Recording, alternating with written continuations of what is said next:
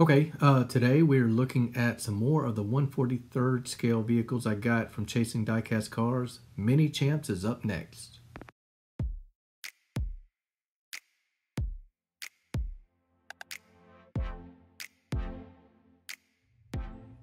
Okay, so hopefully this will be somewhat of a brand review. If you've never checked out Minichamps, they do really, really nice diecast in different scales. Uh, Minichamp 64, Maxichamps, other brands are all related to the parent company. Uh, these are all going to be 143rd scale today, as you have surmised. And I thought just for this one, and this is kind of the crown jewel, in my opinion, of the cars that we're going to look at today. I thought I would just show maybe the packaging if you are interested.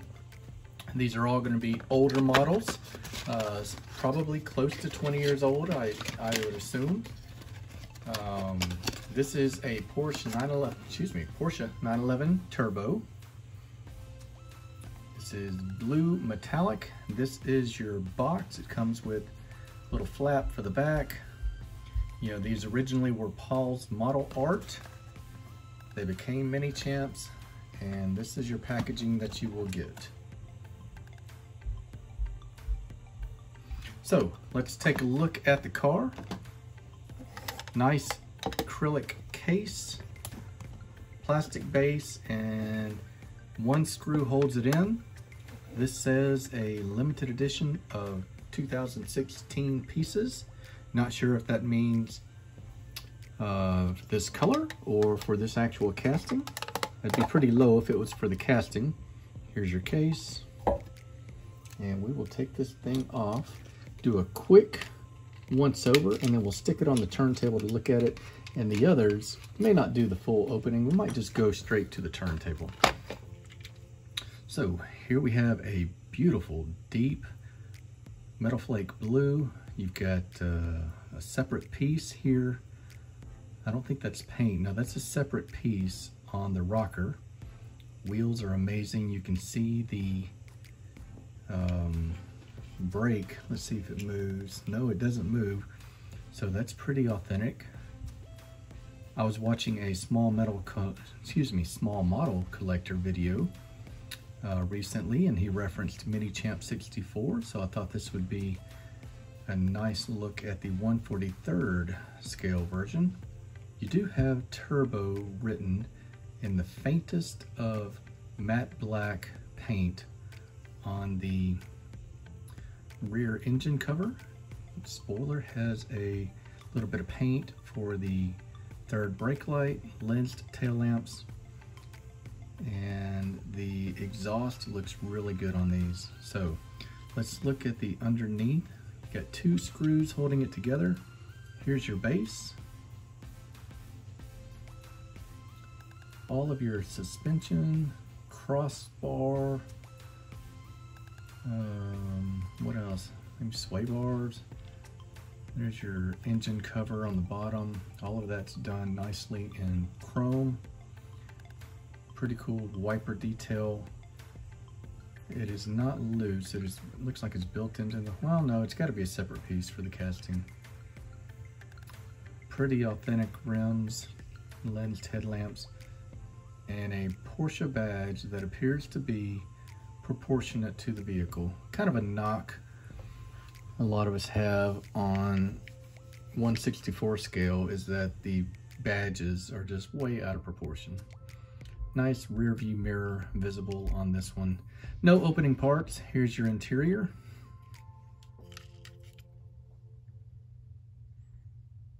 Transmission. You've even got, looks like a badge on the steering wheel.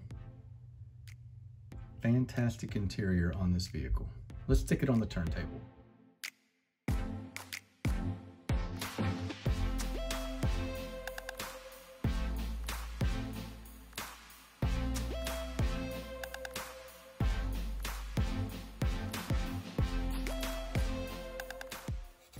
Okay, up next is a Fiat Barchetta. Don't know much about this one. I'll try and learn some stuff before we stick it on the turntable. Be right back. Okay, so looking at this thing off the turntable, look at the interior on this, guys. This is outrageous. Dials have, I think they even have you know, different colors and, um, you know, what you call it, the things that move on the dial. I can't even think right now. I'm looking at the car. Uh, rear view mirror looks great. Side view mirrors look good. Lenses look amazing. Yeah, Minichamps was uh, the benchmark for a number of years back when these were made, and, and for good reason too. This little Fiat is amazing. Hope you enjoyed it.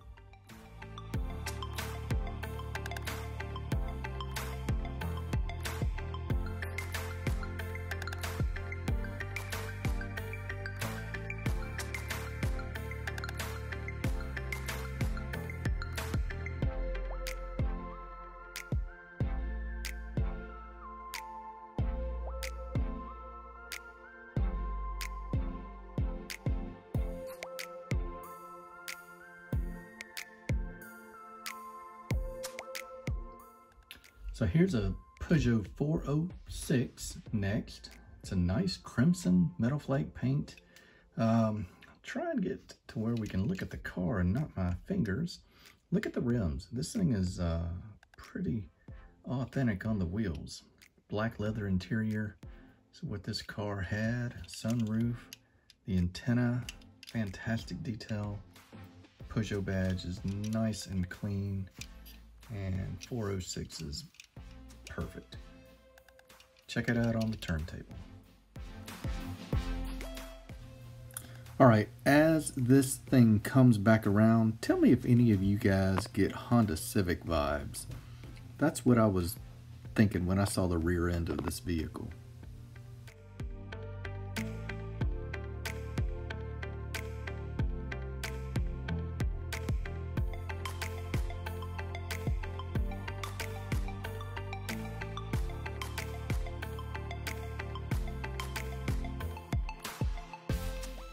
Okay, next up is an M3 BMW Cabriolet, and it is freaking awesome. So kidney grills are done in chrome, nice BMW badge. Even the fog lamps are lensed. Coming around, you've got some pretty good detail on this vent on the fender. You've got, uh, looks like an indicator light on the fender as well, right where the molding is. Check out the BMW logo. Looks like it's slightly off-centered on that wheel, but that wheel cap actually has the propeller logo in it. And you can see great detail on the lug nuts and everything. Fantastic. Here is the rear end. Got your M3. Again, loads of detail on the undercarriage. This cabriolet, you knew the interior was going to be amazing on it. No hiding behind any tinted glass on this one. Fantastic gear shift, center console, e-brake, the whole nine yards. I love the blue, blue leather interior on this one. Yeah, let's watch this thing go around under the lights. It's gonna look pretty good.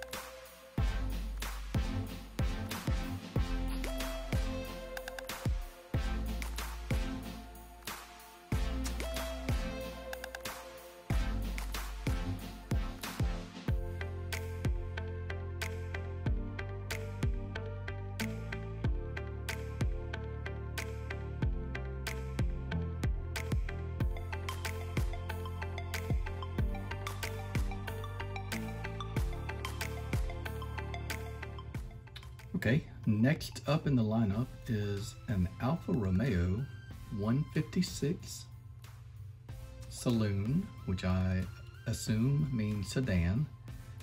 And you've got a really awesome Alfa Romeo badge on that grill. Absolutely instantly recognizable grill at that.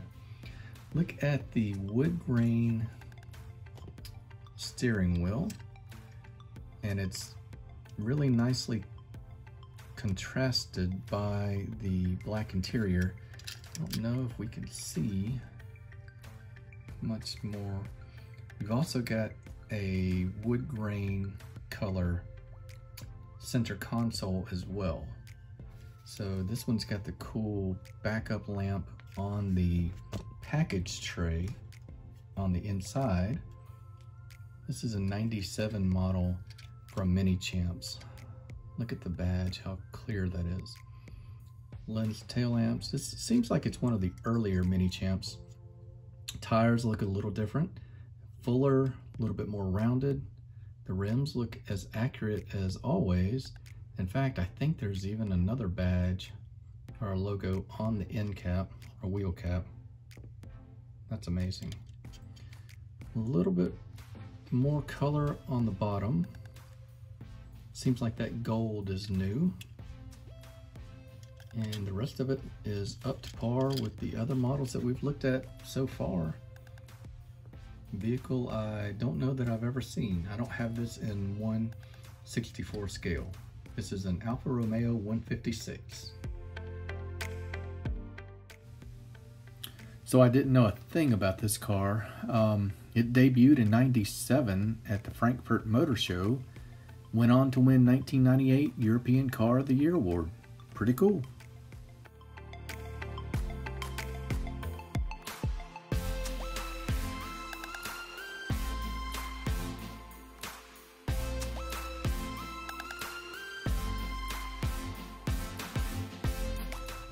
Okay, I definitely smiled a little bit extra when I picked up this Saab.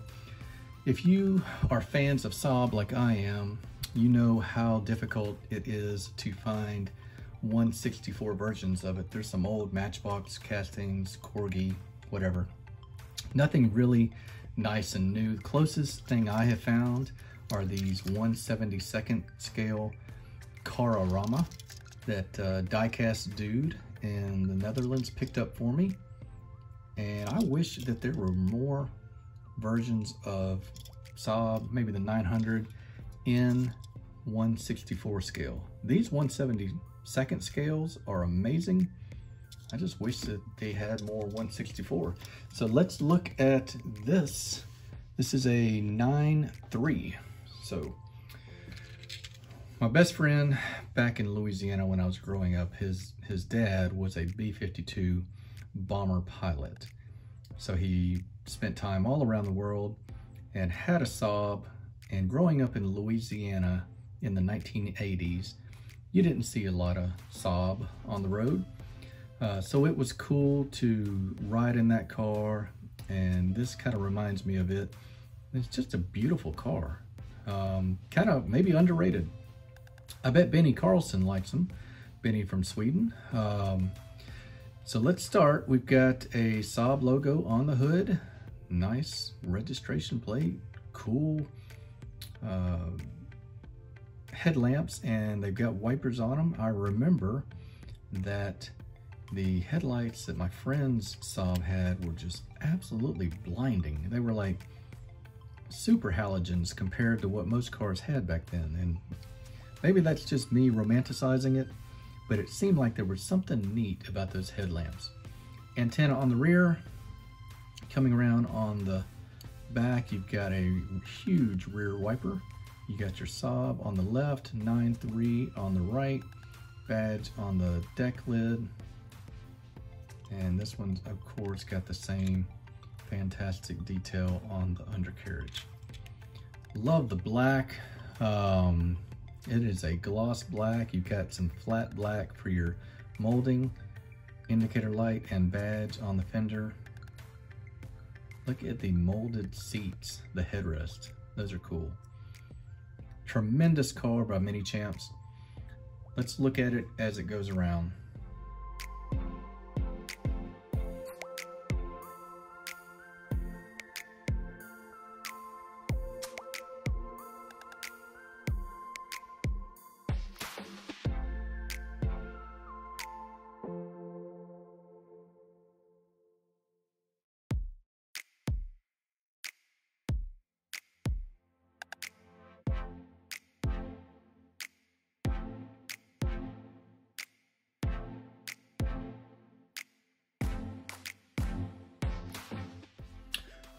Next up we have got a 328i BMW wagon.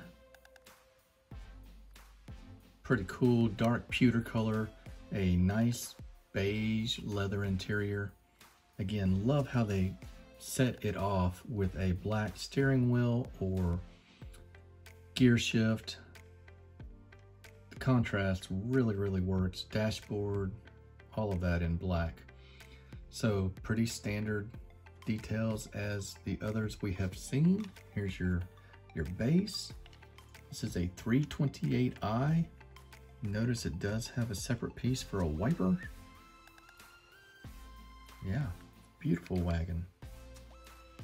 Model Champs making wagons before they were even cool. Check out the roof rails that are separate pieces, not like the built-in piece of you know, just a ridge on a 164 by Hot Wheels.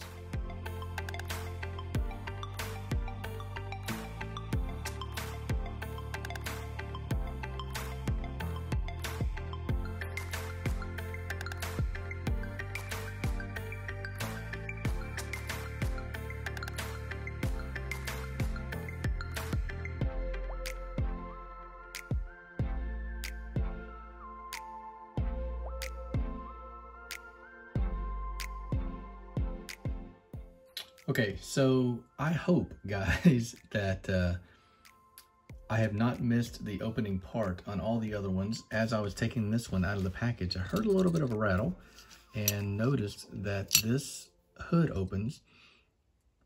But to my defense, look how flush this hood lays while it is closed. Even though it is an opening part, look at those gaps. You would never know that this was an opening part vehicle. So we'll look under the hood here in a second. You guys have got to look at this interior. This is just the best one yet. So this is a BMW Z8 Cabriolet.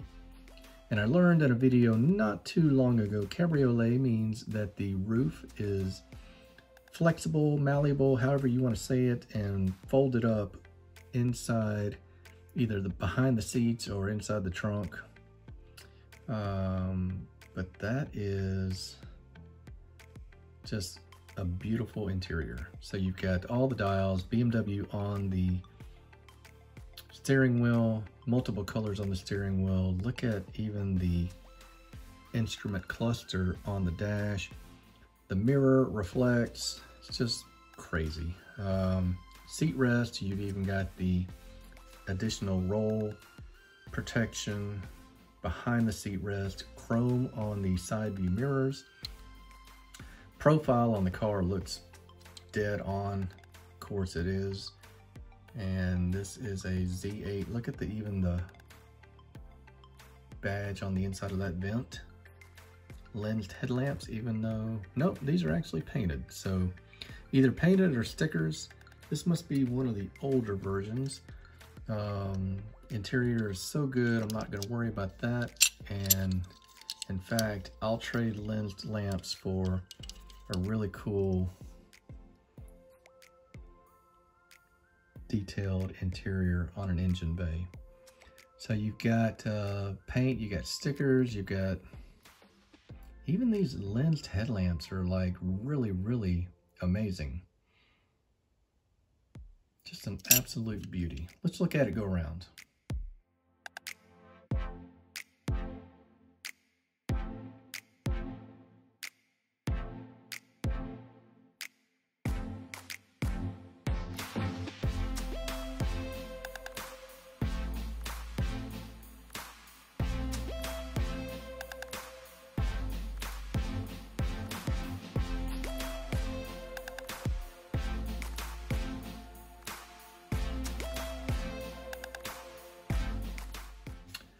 You know, hopefully I won't um, say it to the point where it becomes awkward, but this amazing gift from Chasing Diecast Cars, it's almost like he was shopping for me 20 years ago. This, uh, this is a Peugeot. This is a 306 Cabriolet. Um, these cars are just absolutely right in my wheelhouse. I love street cars, European makers, And um, this is another awesome one. Check out the interior. Look at the red on the seat belt um, pieces. I don't know if I showed any of the back seats up to now, but you've got the seat belt uh, receptors, I guess you would call them. Interior, just amazing. You can almost read the dials.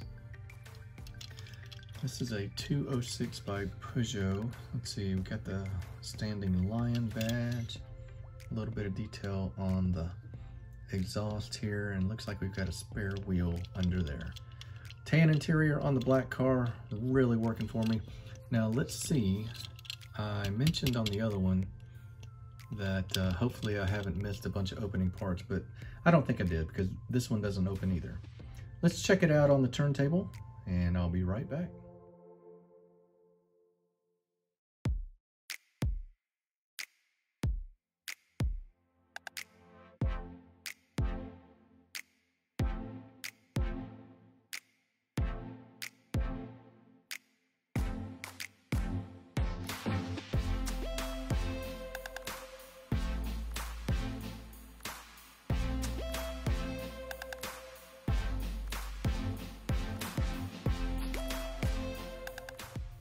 Okay, so uh, the next two are going to be SEAT, S-E-A-T, and that's great because the next thing I learn about the automaker SEAT will be the very first thing I ever learn about the automaker SEAT. No idea. Um, I'm I'm not even gonna guess. I think it's France, maybe Spain. Where are SEATs from, guys? Like I I hate to sound all American, but this is a brand I have got to get to know and, and be more familiar with. Um, this one's called an Arosa, and that sounds Spanish to me. So I'll check once we get done looking at this one, and I'm just gonna presume that these are made in Spain. This is a really cool little mini compact, and it's got, uh, looks like about 13 inch wheels on it. It's got a nice cool S badge on the grill lamps, um, just a, not a metal flake red, it's just pretty much a flat red, but it's got a gloss finish. SEAT Arosa on the rear lift gate, and even the interior on this one looks pretty good. So let's check it out as it goes around, and I'll have a few more facts after I do a little homework. Well, we guessed right. SEAT is in Spain. Um, and if you didn't know that, like me, shame on us because they've only been around 70 years. The SEAT Arosa, uh, they actually made these for 17 years.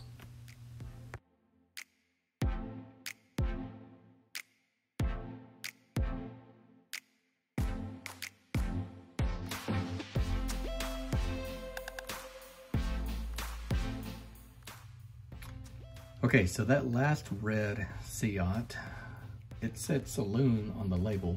This is another SEAT. This is a Toledo.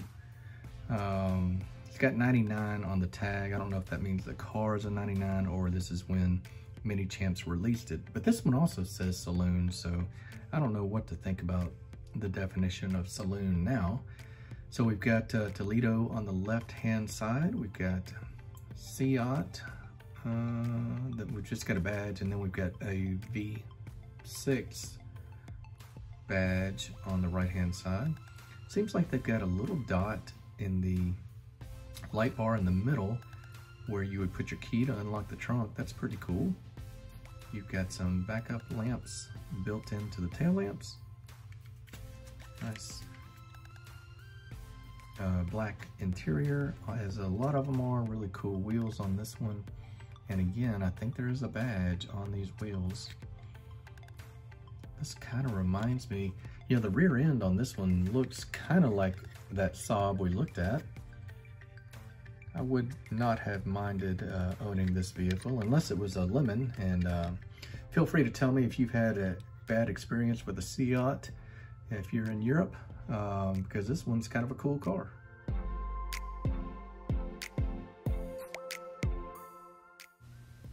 While Toledo is a major city in Ohio in the United States, it probably references a sword or blade made at Toledo, a city in Spain.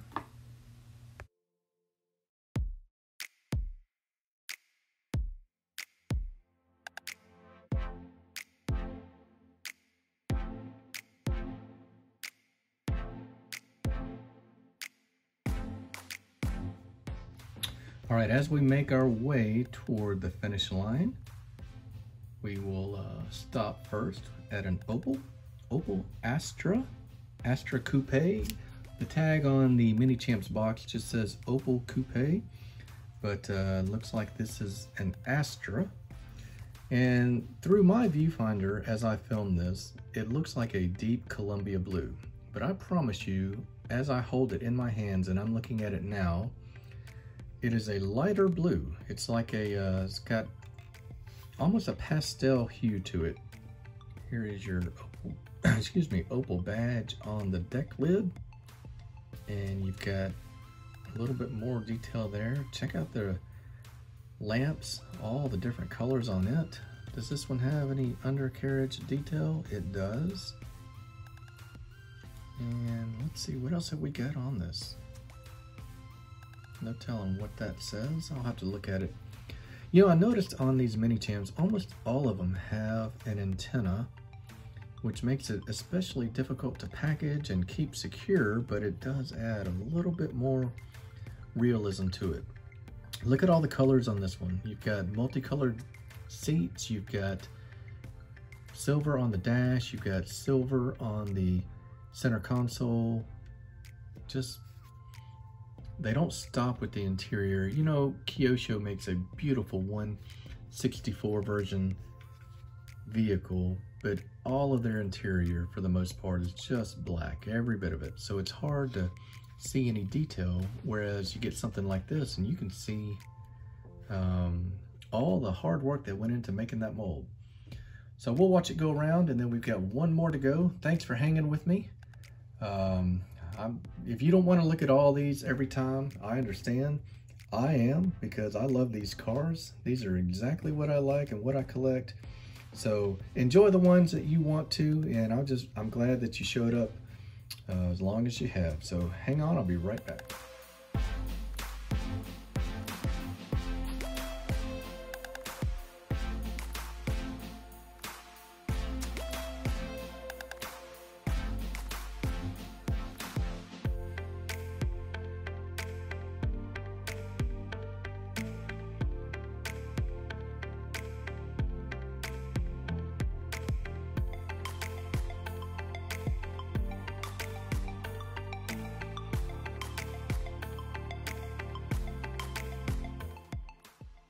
All right, so the last one for today is a beauty. This BMW X5 has got some pretty killer wheels.